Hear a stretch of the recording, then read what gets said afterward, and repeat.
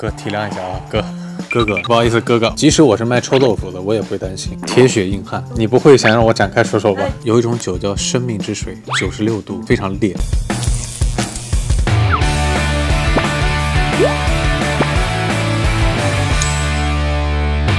各位神剧亮了的家人们，大家好，我是演员胡一天。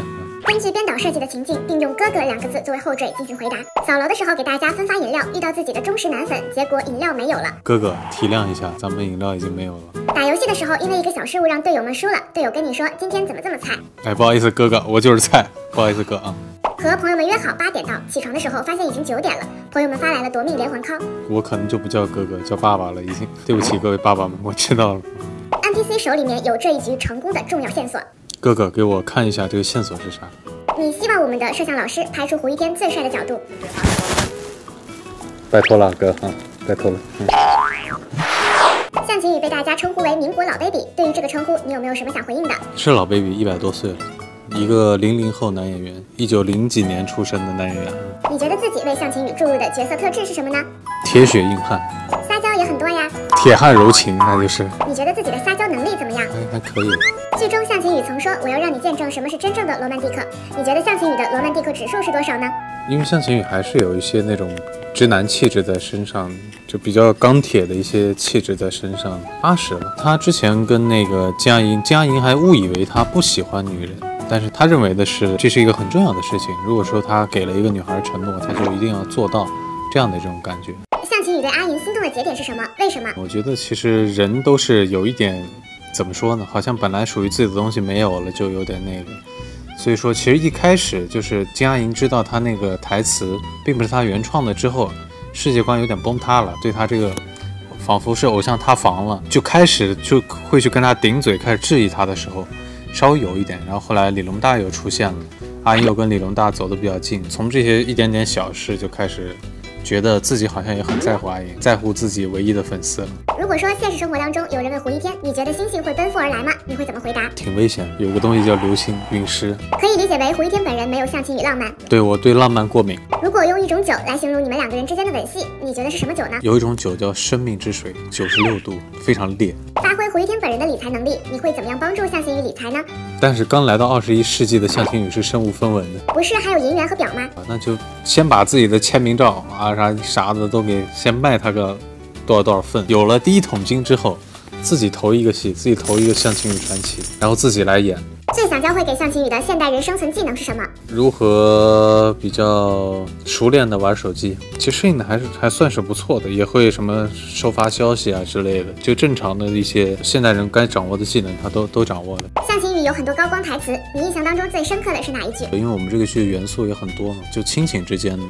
向晴雨跟他的母亲之间其实也也是有一些隔阂在的。他穿越回去了之后，因为经历了很多事情，他看开了，他就跟他妈妈说，因为他们两个本来是不相认，他跟他妈说：“你跟我走吧，以后我来保护你。”这个其实也挺戳我。你跟我走吧，以后我保护你。如果有朋友问你向晴雨最后回到民国了吗？你会怎么回他？我会回他说：“你老老实实的给我盯着爱奇艺看，到时候你就知道了。”会有人找你剧透吗？会有，但是我都会回绝他。你给我老老实实盯着爱奇艺，每晚八点连更十三集，你给我老老实实去看。在花絮里面，你和玉琪在猜拳，最后有拿到属于自己的一百块钱吗？哎，我跟很多女演员打过赌，比如说有一些台词儿粗犷，还有粗犷，就是打这个读音的梗，然后也是赌钱，但是也没有收 收收到过一分钱。男女主讨喜的人设，故事线完整，符合观众们的期待，诠释者 CP 感非常强。你觉得这几个因素哪个对甜宠剧的成功比较重要？其实都很重要。你要说最重要的，我觉得可能还是这个故事大家能磕得起来、喜闻乐见的这种感觉，因为这样的话受众人群更广一些。但是其他几个因素也是很重要的。在你心里面还有没有其他的影响因素呢？还有很多。现在我觉得一个剧是不是下饭剧也很重要，因为如果一个剧的观影门槛特别高的话，比如说大家看剧主要是为了打发时间去看，可能甜宠剧比较下饭的这种会是比较脍炙人口的、比较容易出来的这种类型。你生活里面吃饭的时候会追剧吗？我曾经会，我小时候会。但是追的是哆啦 A 梦。在过去的几年当中，你觉得作为演员胡一天有没有得到属于自己的神来之笔？我觉得其实很多每个戏的某一个瞬间肯定是有这种神来之笔，有你不会想让我展开说说？就是比如说我去拍《超时空罗曼史》这部剧，让我个人比待比较期待去诠释的一些戏份有，比如说他从民国这个时期穿越到现现在来的这个时间段，他面对一切事物的新鲜感。然后也有一些失落的地方，就是他曾经拥有的一切都没有，这个时代也没有人记住他那种落魄的感觉，是我比较希望去诠释的。还有一些就是，比如说他在现代经历完了一切事情之后，包括很多事情对应到他民国时期经历的事情，让他有了一些感悟之后，但他这个时候假设他又穿越回去了，他又会对同样的事情做出什么样的呃选择？这个是我比较希望去诠释的。你觉得在过去几年当中，时间带给了你什么？皱纹，还有从我的生理上来说，我我年年纪变大，从我的。演员之路上来说，带给了我的更多支持我的观众、粉丝，还有作品。我其实平心而论，我觉得一路走来自己还是挺顺利的。一开始可能头几部作品就让大家认识了我，我到现在其实已经播出了十几个剧，然后也顺利都播出了，甚至都已经没有存货了。所以说还是挺幸运的，没有作品被压。入行其实也比较晚，但是还是让大家一开始就认识到了我。其实我挺幸运。偶像剧市场打拼的这几年，有没有担心过自己的剧迷会被其他偶像剧男演员吸引而流失？即使我是卖臭豆腐的，我也会担心，因为你可能曾经卖得很好，但你能不能一直卖得很好？但是这个市场就是这样，你只有说提高自己的核心竞争力，才能一直在市场上生存下去。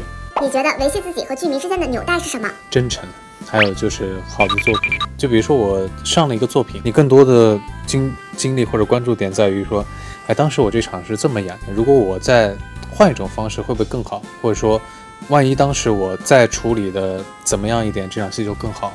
可能我们的重心在这儿。如何每周三准时 get 神剧亮了最新节目呢？打开爱奇艺 APP 搜索“神剧亮了”官方，一键订阅或扫描二维码关注爱奇艺电视剧微博、微信公众号，掌握最新剧透，追剧不再 lay back。